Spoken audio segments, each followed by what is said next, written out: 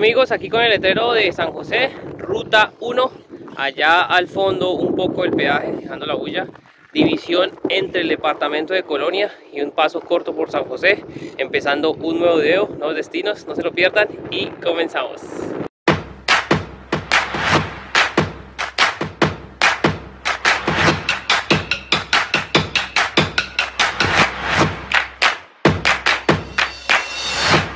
Toda esta ruta 1 es más espacio de campo. Aquí nos alejamos mucho del río. Lástima, como dije en el video de Colonia, que no haya una ruta ahí pegada tanto al río Uruguay, todo el río de la Plata, porque sería muy bonito por todos los balnearios. De acá podrían pasar y ver la foto por Cufré y otros espacios. De resto aquí, todo de ruta, podrían subir por otra alterna a San José, Canelones. Yo voy a hacer un poquito esta acá más rápido de la 1 para hacer todos los destinos de costa más bien previo al invierno, no demorarme mucho. Así que ahí verán los destinos acá un poco de San José y ya llegar a Ciudad del Plata, previo a Montevideo. Seguimos. Siguiendo por toda la ruta 1, varios balnearios en el camino, en especial parando en el de Playa Pascual, descansando en casa de Natalia y compartiendo con su hijo en el lugar. Aquí ya la playa sí está un poco más cerca, más o menos como a un kilómetro de ahí de la vía. Hoy un poco día de viento y se siente más como las olas acá del río. Todavía, como les dije, esto todavía es río de la Plata. Hay igual varias zonas de arena, hay pescadero, un muelle. Vamos a hacer un poco de la visita hoy de descanso.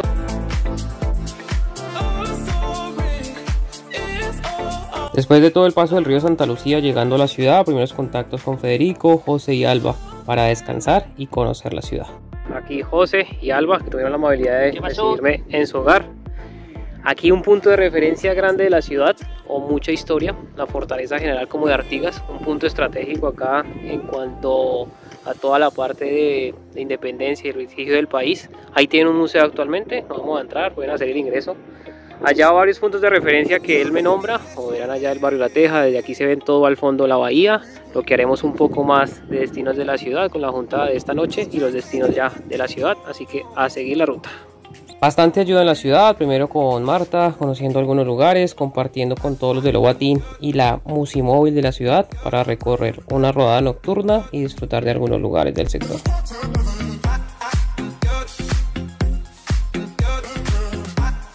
Estoy volviendo acá a la plaza principal, Plaza Independencia, acá Monumento Artigas, ya la bonita torre larga de la catedral, varias oficinas de gobierno. Es muy fácil acá recorrer el centro, vamos a ir acá a ver varias plazas, ir tomando un poquito, hay un poquito de más tráfico, entonces simplemente tomar una foto por la plaza principal, todo el parque, el obelisco hasta el parque centenario estadio acá principal de Uruguay y la vista de varias imágenes ahí que vean del recorrido y seguir la ruta.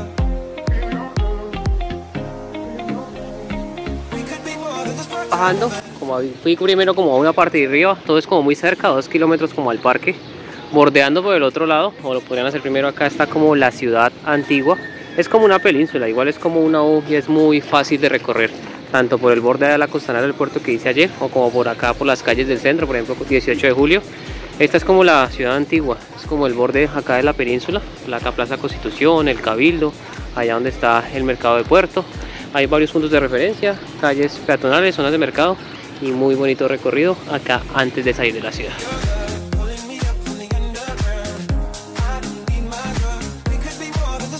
Siguiendo ruta, después de hacer ahí todo el centro, el puerto, toda la ciudad vieja y ver un poquito más de recorrido caminando, ya dirigiéndome acá, un caso que había hecho ya con el recorrido, de la Musimóvil. Acá por toda la rambla de la Costanera hay una ciclovía, acá volteando todo este lindo paisaje y atardecer. Ya como a las playas de las afueras, varios espacios de Pusitos, el Prado y varios lugares ahí muy bonitos. Hay que ver en el camino y ya las playas ya de las afueras de Montevideo. Seguir la ruta.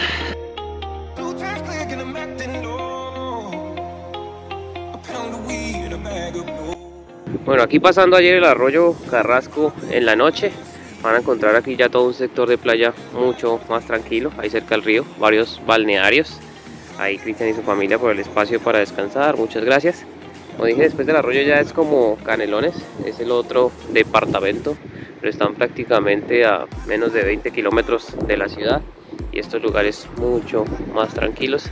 Aquí caminar, ahorita devolverme con ellos para la junta de ciclismo y terminar los destinos de la ciudad.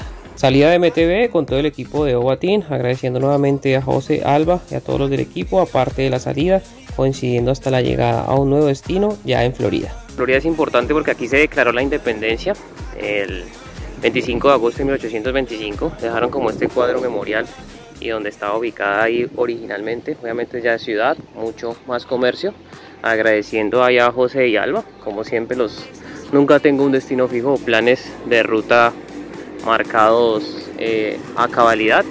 La idea era seguir por la costa, pero bueno, tengo un amigo que ha estado muy pendiente de la ruta, Fulvio y su señora acá arriba en Sarandí Grande, entonces aprovechando que ellos venían acá a la ciudad, igual más o menos serían como 70 kilómetros, solo no delineé bien como la parte de Canelones, hay un pedacito toda la parte de viñedos y demás lugares así de campo, de resto si acá hacer más o menos como 45 kilómetros, ver un poquito acá los alrededores de la ciudad, verán ahí la plaza, ir por todo el parque.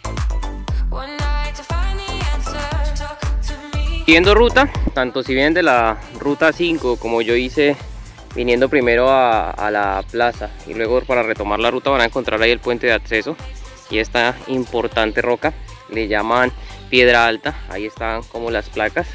Es como también fue declarado un monumento histórico nacional. Ahí como ven hay diversas placas de sitios históricos que representan algo de Uruguay. Además en 1825 fue como el acta donde se proclamó todo el pueblo como las hechos de libertad acá como dije en la plaza fue donde se firmó el acto de independencia. Entonces ahora sirve como de sostén al puente de la entrada.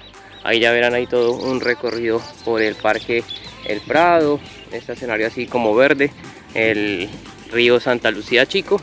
Vamos como una vueltica por acá previo a coger el puente y ya salir de la ciudad. Ahí veremos la ruta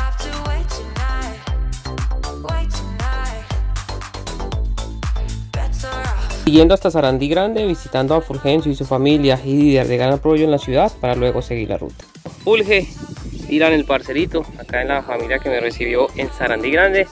Punto de referencia, acá el Parque Tomás Barreta, igual todos estos pueblos son más de tranquilidad, todo el camino como dije ayer, más de campo, un sitio para descansar, ahí verán la plaza, son recorridos cortos, aquí un poco ya el recorrido ver la foto de la familia, la plaza, la iglesia y seguir un poco hacia destinos más de Florida, empalmando con la Valleja. Ahí seguir la ruta.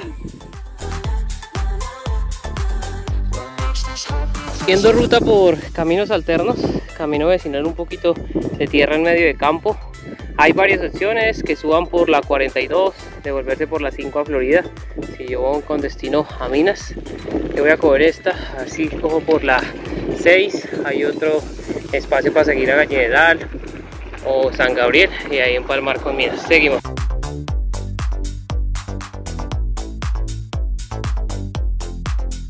Este container que me sirvió de resguardo acá en San Gabriel. Hay varias opciones, seguir acá a Casupá por la 40 que era como la más corta la que iba a coger, pero como ayer hay terrenos que están así en tierra y allá por tanto camión de ganado está con mucho serrucho, entonces voy a seguir acá a la 12, otra vez volver como a destinos de canelones sí empalmar después de Tala con la Valleja y ya verán los últimos destinos del video ya empalmando con un nuevo departamento. Así que a seguir la ruta y hacerle. Siguiente punto de referencia, la plaza principal acá de Casupá, viniendo ahí de ruta 7 la van a encontrar, es como el pueblo más grande después de Florida que he visto acá en el departamento. Si quisieran seguir ahí por ruta 7 saldrían a Tala, todo el espacio ya de la ruta 12 en Palmar con Carlenoles. Yo voy a coger un poco el espacio acá de la ruta 40, dicen que está recién hecha, entonces como un desvío más o menos a Minas, 40 kilómetros. Y allá verán todos los destinos de la ruta empalmando con la Valleja. Desvío ahí después por Casupá, solo falta que asfalten un tramo después del arroyo que exactamente divide eh, Florencia con la Valleja y se vuelve muy buena esta ruta. Allá al fondo ya se empiezan a ver algunos cerros.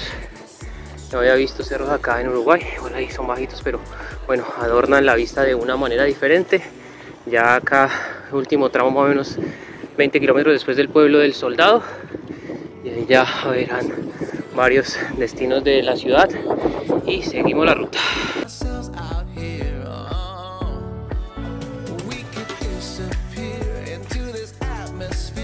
Llegando a la ciudad, agradeciendo a Marcel por toda la ayuda, por buscar el espacio, descansar en el estadio y la nota en la ciudad. Primer destino acá, la ciudad de Minas de la Valleja. Simplemente hay conexión viniendo de todo Florida. Muy bonita acá la plaza. Como dije ahí en el camino ya se ven como un poquito más de cerros que adornan ahí como el camino, ya más poblado. Bonito acá este asunto del Palacio Municipal, este callejón acá al fondo de la iglesia. Ver hacer un poquito de cerros, mañana conocer un poquito más la ciudad, las ramblas y ahí verán los siguientes destinos de la ruta.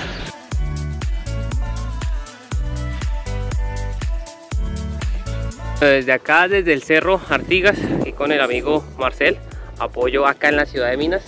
Todo el camino que hice ayer de Higueritas, ven allá el Cerro Negro, lo vi más o menos a la izquierda, allá el Cerro Verdún, más o menos está rodeando toda la ciudad.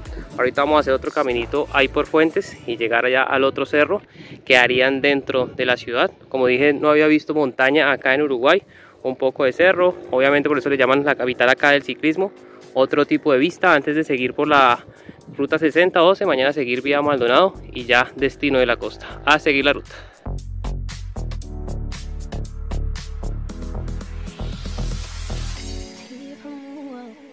Uno de los últimos puntos de referencia, ya hay aparte del cerro, acá saliendo como por la ruta 8, está esta reserva natural Salus. Es como una fuente de agua ya viniendo de la montaña. Aquí tienen como esta fuente acá del Puma. Hoy la tienen cerrada de pronto por que no es fin de semana o por la incidencia de agua que hay. Es una fábrica con mucha antigüedad. Allá ven el letrero, más o menos 130 años. Acá en medio de la montaña hay un parque para niños. Toda aquí la entrada gratuita, un muy bonito lugar. Ahí van verán las fotos y ya cerrando el paso por la ciudad a seguir por la 60.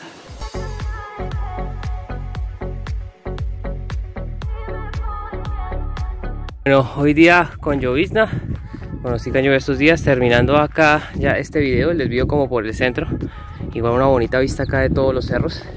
Este es como el último punto de referencia de Minas y La Valleja, un poquito, unos kilómetros más adelante ya empieza Maldonado, aquí hay dos opciones, por la intermediaria que iba a ir a primero a Pan de Azúcar, pero bueno, tengo varios amigos y conocidos en Navarra, ya Maldonado, entonces voy a seguir acá por la 12, ahí va Pueblo Edén, varios destinos de la ruta y después haré todo Punta del Este y destinos de Maldonado. En medio de lluvia quería visitar el templo budista, ya seguí hacia destinos de Maldonado directamente, que verán en el próximo video.